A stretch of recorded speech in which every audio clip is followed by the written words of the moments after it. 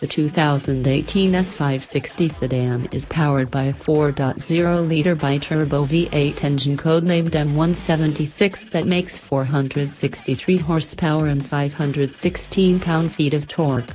The juice makes its way through a single-option 9-speed automatic transmission before being sent to either the rear wheels or Benz's optional 4MATIC all-wheel drive system power delivery is simply impressive and quite linear, nearly all the way up to its 130 mile per hour electronically limited top speed, which I was actually able to experience on one of the unlimited speed sections of the Autobahn.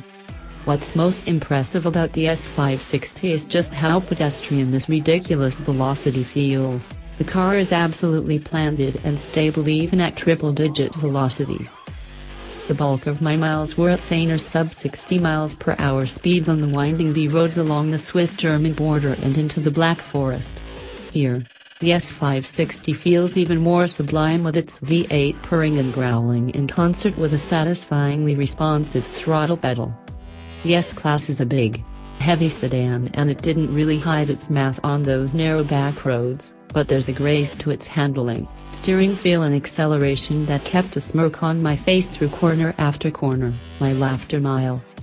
It was easy to leave the S-Class drive mode selector in its most aggressive dynamic setting for much of the day. It's still a comfortable ride when all firmed up and sharpened, but I also had a very smooth comfort setting,